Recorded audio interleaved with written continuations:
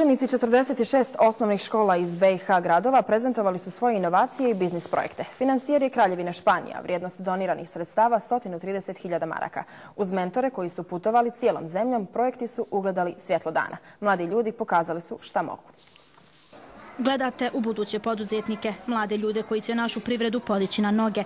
Možda upravo oni riješe problem prekomjernog uvoza, trgovine, loše slike u industriji. Ako su sposobni napraviti malu pekaru ili preduzeće, možda riješe i administrativne barijere i oduženu registraciju ili zaštite domaću proizvodnju. Mi smo znači te učenike obučili kako da razmišljaju na način da postanu poduzetnici. To nam je bila ideja da ih potaknemo, da im damo osnovne alate. Evo oni su, kako vidimo, uspješno, znači prošli taj proces, dobili su od nas određena financijska sredstva za realizaciju u praksi. A za realizaciju u praksi ne treba mnogo. Važno je kako ih uče.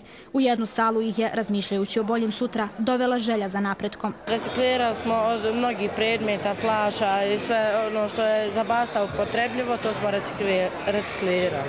Tu sumpornu vodu ovaj, pakovali i njihov biznis plan je pakovanje i distribucija te sumporne vode koja je inače jako ljekovita. A o tome šta je ljekovito, rijetki razmišljaju. Sir sa začinskim biljem nekome će poslužiti samo kao dekoracija na tanjiru, no njima je proizvod naše budućnosti. Nešto što će se sigurno naći u širokoj upotrebi.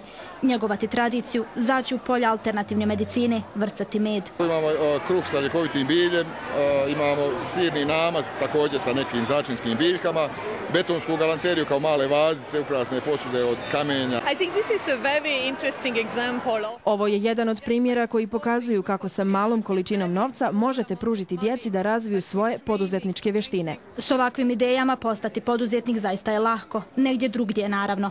Tamo gdje nema ograničenja za mlade i tamo gdje se njihova prava malo bolje poštuju.